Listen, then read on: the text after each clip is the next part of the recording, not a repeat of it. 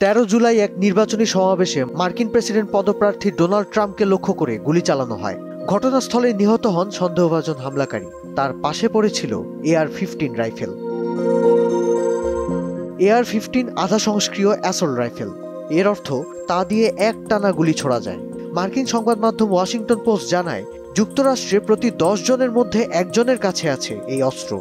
একই ধরনের M sixteen rifle Vietnam যুদ্ধের সময় থেকে ব্যবহার করে আসছে যুক্তরাষ্ট্রের সামরিক বাহিনী। সাধারণ পিস্তলের চেয়ে তিন গুণ গতিতে গুলি ছুটতে পারে এআর ফিফটিন অনেক দূর থেকেও লক্ষ্যভেদ করা যায়। এর গুলিতে ত্বক ও শরীরের ভেতরের অঙ্গ প্রত্যঙ্গ মারাত্মকভাবে ক্ষতিগ্রস্ত হতে পারে। এআর ফিফটিনের এত জনপ্রিয়তার পেছনে বড় কারণ, এই রাইফেলে সহজেই টেলিস্কোপ ও বড় আকারের ম্যাগাজিন সহ বাড়তি সরঞ্জাম যুক্ত করা যায়।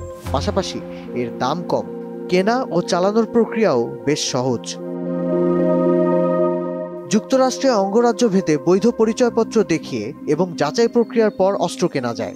তবে ব্যক্তিগত পর্যায়ে কেনা বেচার ক্ষেত্রে অনেক সময় সুষ্ঠুভাবে যাচাই করা হয় না। যুক্তরাষ্ট্রের ন্যাশনাল রাইফেল অ্যাসোসিয়েশনের ভাষ্যমতে নিশানা পরীক্ষা ও প্রতিরক্ষার কাজে ব্যবহার করা হয় এআর ফিফটিন তবে সমালোচকেরা বলছেন, এই বন্দুক এতই প্রাণঘাতী যে তা সাধারণ মানুষের হাতে পড়া উচিত নয়।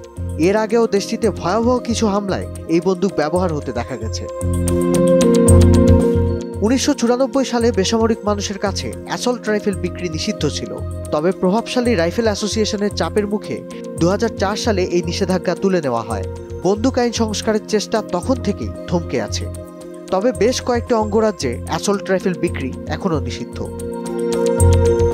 এমন সব তথ্য খবর পেতে ভিজিট করুন Prothom Alo dot com slash video follow করুন প্রথম আলোর ফেসবুক পেজ ও ইউটিউব চ্যানেল থাকুন ভালোর সাথে, আলোর পথে।